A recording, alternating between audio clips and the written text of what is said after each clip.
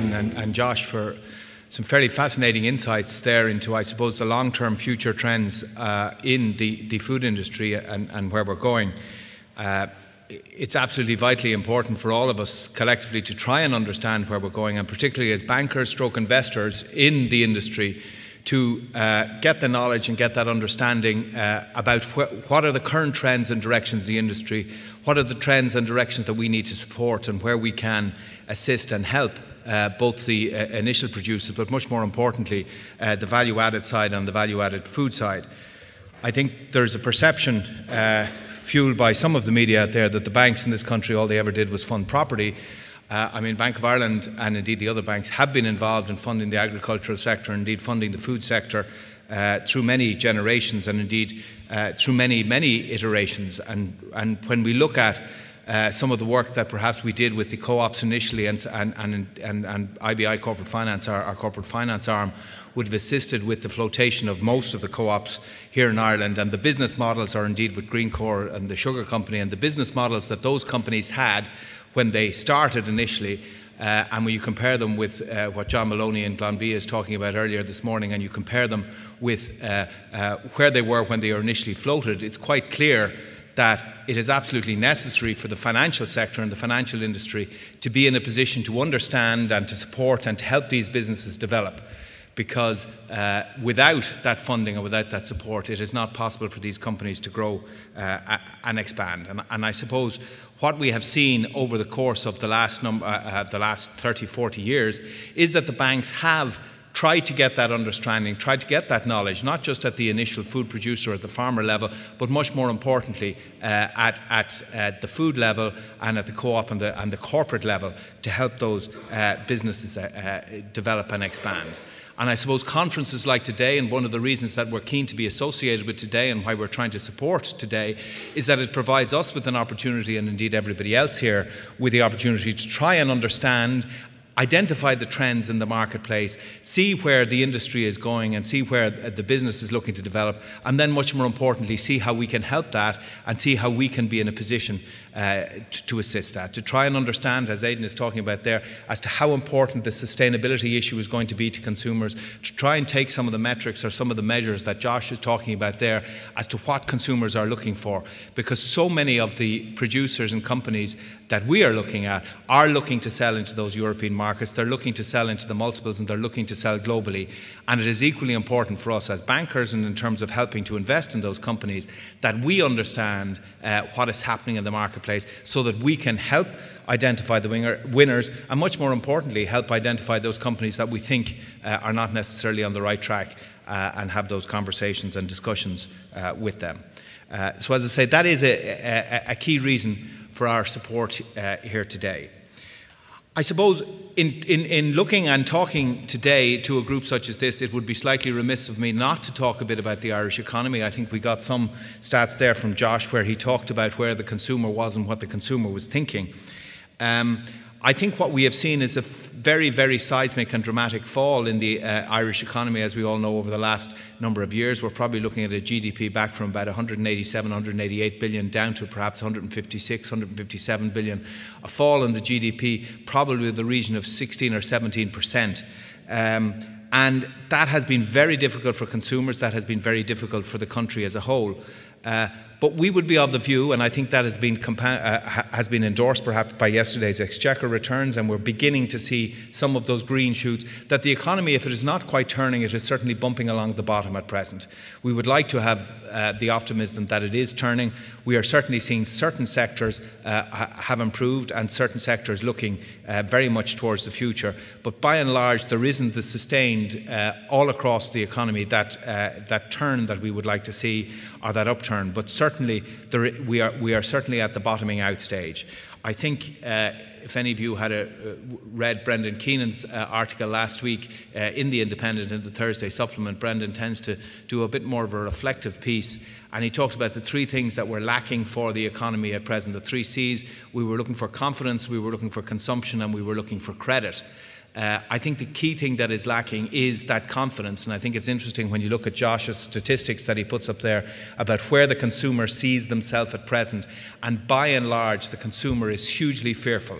Uh, the average person out there, the average Irish person, is continually bombarded by these negative headlines, is continuously being bombarded uh, by, by threats of doom and gloom, and as a result is saving itself and saving the economy further and further into recession. This paradox of thrift that we call it. We are now at the situation whereby in 2006, 2007, the Irish consumer was saving about two or three cent of its after tax euro. It's now saving, the Irish consumer is saving about 15 or 16 cents. So the savings ratio has pushed up to that 15 or 16 cent, and that's for the 1.85 million people employed in the economy. There's a huge talk about the unemployment level, but there's still 1.85 million people uh, employed in the economy. And what we need to get is that we need to get that confidence back into the economy, that confidence about the future, and then we need to get people getting out there and spending. And I think that that's absolutely key and vital uh, to trying to regenerate uh, this economy. I think Michael Noonan was somewhat derided in the media by indicating, I think it's about 10 days ago or 12 days ago, that he wanted consumers to get out there and start spending. But that is absolutely uh, what we need uh, the consumers uh, to do.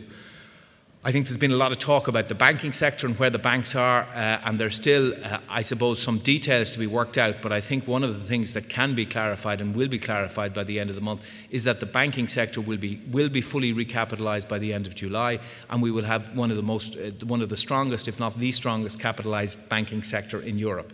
I think uh, we would believe the banks are being overcapitalised, but what we do think is important is that uh, the market, uh, both the consumer market and the international markets, believe that we can draw a line under the banking situation and that the banking crisis in Ireland very expensive and all as it was, and I'm not taking away from that point, that the banking crisis in Ireland is now, uh, is now at an end. I think what we can then do is we then turn to the, overlying, uh, the, the underlying economy and ask ourselves where we are going on the underlying economy. And as we've seen yesterday with the exchequer returns, by and large, the exchequer returns are coming in uh, uh, on budget. Uh, obviously, some variations, and that would happen in any business on a month to month basis, but coming in on budget, and therefore the plans which, which the government is looking for to reduce the deficit look at this juncture as if they're going to be met. It also means that, unlike uh, perhaps some of our far uh, me- uh, eastern Mediterranean neighbours, that we're going to get a big tick from the Troika when they come on their next visit, and they're going to say, hang on, guys, you guys are doing a good job, you're doing all the things that you said you would do,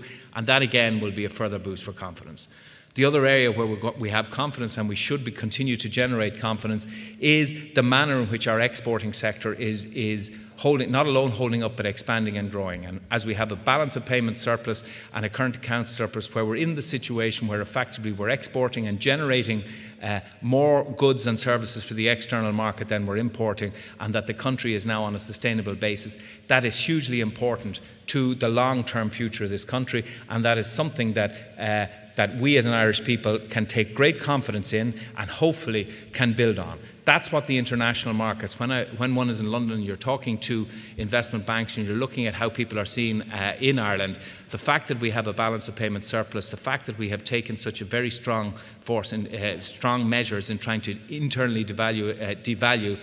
and not being able to, while not being able to devalue the currency, is being recognised, and there is a very strong belief that as a result, the Irish economy is in a much different situation to the Portuguese or to the Greek, uh, uh, or indeed Italian or Spanish uh, economies, should they head down that, that um, should they head down that path.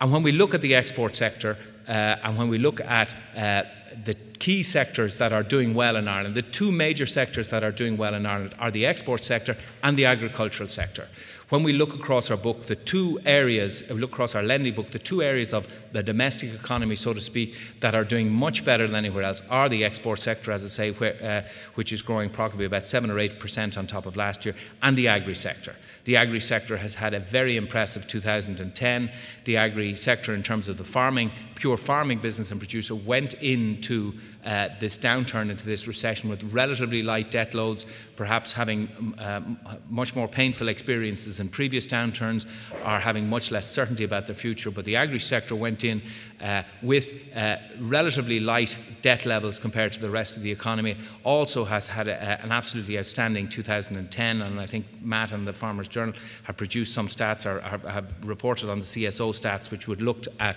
the farming sector incomes probably up about 28 or 29 percent uh, on prior years. Now, that's after a fall in 2009, I acknowledge. But what we are seeing is that the agri sector uh, is doing very well and has, uh, and has done very well.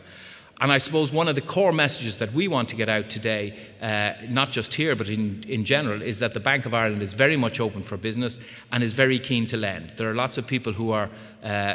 in the media and other commentators who are saying the reverse, and I, I, I, at every opportunity I get, we are determined to uh, try and nail that on the head. Uh, we have no shortage of money to lend to the Irish economy, and we are very much open for business. Consumer and business applications are down over 30% year to date. In terms of what we are seeing is a reluctance on businesses and people to invest in their businesses, uh, and we are seeing a reluctance for people to come forward with their ideas, and that has led to a very, very significant reduction in credit demand. But much more importantly, has also led to a deleveraging of businesses as businesses are paying down debt, and indeed consumers are paying down debt as they are fearful uh, for the future.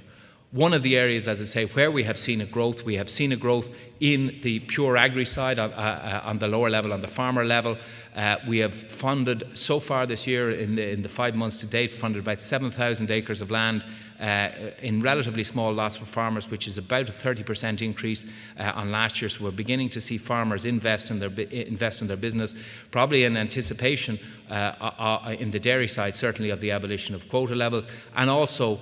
with a bit more confidence about the future, given the state of commodity prices and given the, the state of the markets. In terms of our book, our book in Ireland in the business banking side, where we call it business banking and agri, uh, we probably have about uh, lines of about 1.4 billion with only a billion drawn to the, uh, the farming side. On our corporate banking side, we are looking at a book now, which in the corporate banking side would look at the larger food companies and the larger co-ops uh, of over 2 billion, which has grown almost threefold during the course of the last 10 years. So in terms of our emphasis and our expansion and our focus uh, on that, there's been a huge uh, emphasis from the bank on that side with a view to trying to see how we can help uh, that sector expand uh, and grow. And it's one of the indigenous sectors that can expand and grow. And our corporate finance side, as I've indicated, uh, has been involved in a, a, a large number of the tra- uh, transactions. Uh, initially on the agri side, but more recently uh, on the food side, whether that's working with Tayto Foods or whether that's working with Greencore or, or, or, others who are more looking on the food side as opposed to the pure, the pure agri side. In terms of the growth areas, and I suppose what we've heard today there from, from Aidan uh, uh, and, and, indeed from Josh, there's, there's trends coming down the track, there's new things happening in the marketplace, the consumer is changing, the marketplace is continuing to be more internationalized, and we need to uh, get, get, ready uh, for that. And I suppose there's, there's four things that we need to do, I believe, as a bank to try and assist that. I, I think, firstly, we need to demonstrate our appetite. Uh, I think, secondly, we need to uh, reorganise our sector specialisms uh, in the bank. I think, thirdly, we need to uh, expand and educate uh, the marketplace about the existing products that are available. And I suppose, finally, we need to try and identify what additional products we could make available uh, for both farmers and indeed for the food industry. Uh, in terms of a demonstration uh, of our appetite, uh, I'm delighted to be in a position to announce today, and we, we, we, will be announcing at this conference, the launch of an additional 200 million fund for the agri and food sector, an additional lending fund uh, for this year of an additional 200 million, uh, which we want to get out and get lent into the agri and food sector in 2011. Uh, we think that it's important to put a big number on that to demonstrate our commitment, and what we are determined to do is to help uh, farmers expand and grow, we anticipate there could be investment of up to 500 million in the pure uh, farmer side of the business uh, in 2011, and we are uh, prepared to try and support that to the tune of 200 million uh, uh, during the course of 2011. As some of you may know, we already have seed and venture capital funds out there which are directed towards the tech side, and this is one of the things that we are going to talk about. We have about 49 million of seed and venture capital funds uh, which are developed at food science, uh, med tech, uh, ag tech, or whatever, and that is an area which we are looking uh, to expand, and we run those in conjunction with Enterprise Ireland, and we will have additional an additional tranche of venture capital funding which we will be announcing in the course of the next 10 or 15 days, which again is directed uh, at probably more the food science end of the business, but is is certainly directed at trying to demonstrate that we are keen to assist these new and innovative businesses uh, get off the ground uh, and direct and expand uh, uh their operations. Uh, and we have already advertised and are in the, uh, in the processes of appointing a new head of agri and food uh, in the business bank for Bank of Ireland. It's, it's, it's, a role that we think, given the importance with Harvest 2020 and given the importance with uh, the CAP reform coming up and uh, the new demands that are going to be uh, in the agri sector, uh, that we beef up and we staff up on that area and we will be appointing subject to finding the right candidate. We're in the interview stage, appointing a new head of agri and food over the course of the next four or five weeks. And say these are, steps that we in the bank are taking to demonstrate our commitment and to try and demonstrate uh, our willingness to assist and support uh, th th this area of the Irish economy. I suppose I, the second area where I think we need to assist and we need to develop is that we need to relook at the way in which we organise our sector and our sector specialism in the bank. I suppose we historically we would have had an agri sector, we'd have had a tech sector, we'd have had a software sector, and increasingly what we're seeing is all these sectors are getting blurred uh, uh, and, and merged in together. And this is why we find ourselves with clean tech and med tech and agri tech and food science. And one of the key things that we are looking to do now is to reorganise the manner in which we approach that market because increasingly we are seeing the, the new business startups and the requests for innovation and the requests for finance are coming not from the traditional silos uh, of, individual business, but they're coming from that merger and amalgamation of the different areas. And that's the second thing that we are committed to doing uh, in business banking. And as I say, with those seed funds, uh, which we have out there in conjunction with Enterprise Ireland, is looking at ways in which we can bring those seed funds and those seed tech funds to the agri and the food space, because we do believe uh, to try and capitalise on some of the uh, uh, issues and plans and ideas that are out there, whether it's in terms of measuring measuring carbon footprint in farms or whether it's in terms of uh, perhaps uh, getting new ways of having healthier foods or, or, packaging associated with foods, there will be huge opportunities. And we have plenty of graduates and plenty of innovators and entrepreneurs out there who will be looking to try and uh, set up businesses to capitalize that. And they are all spin offs, spin offs from the agri and the food sector here uh, in Ireland.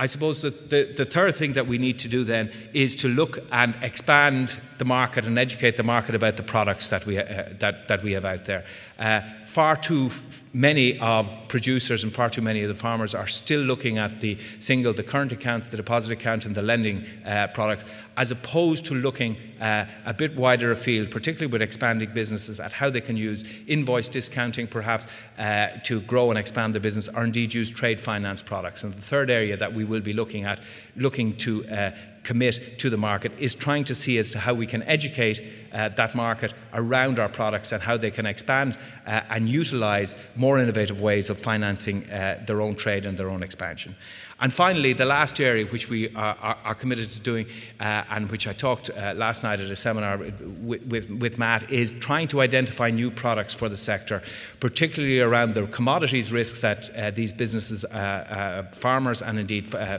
co op businesses, or, or agri businesses are carrying, around the volatility which we're seeing in commodity prices, both on the input and the output side, and ways in which we can generate products and